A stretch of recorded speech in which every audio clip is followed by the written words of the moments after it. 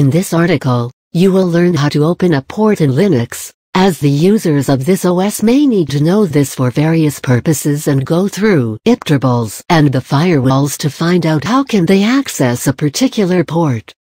How to open a port in Linux? The answer to this question is pretty simple. However, you need to first verify whether the particular port is already open or not. The command for opening a particular port varies, depending on whether you want to open it for TCP or UDP connection. So, let us first try to understand how to verify if a port is open or not. Here, in this article, I have taken up the command line approach to perform these tasks. After all, it is the command line approach that makes Linux the wonderful operating system that it is.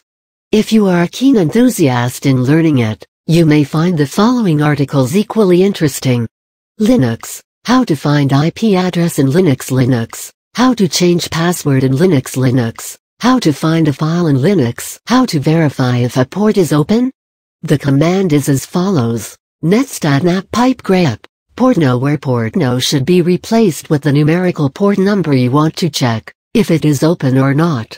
From the output of this command, you can make out if a port is open or not in Linux. All Linux versions do not support this command. There are few other commands that can be used to check whether a particular port is open or not.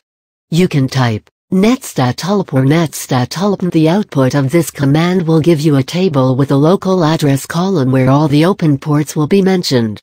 Mapstreet Olocal host The output of this command, when issued from the console will give a list of ports that are listening to the TCP connections on the network.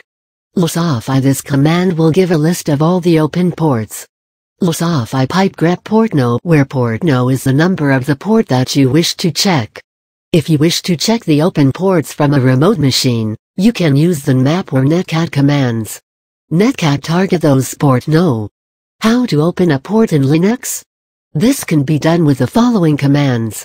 You can type the following command iptables input PTCP port port no J accept where port no needs to be replaced with the numerical port number that you want to open.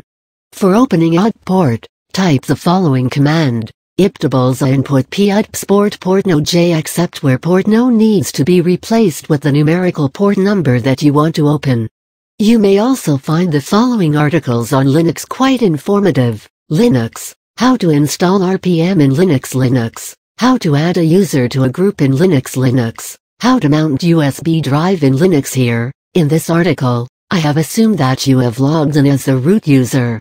With this, I complete this article on Linux, how to open a port. Hope this article proves to be of some help to you.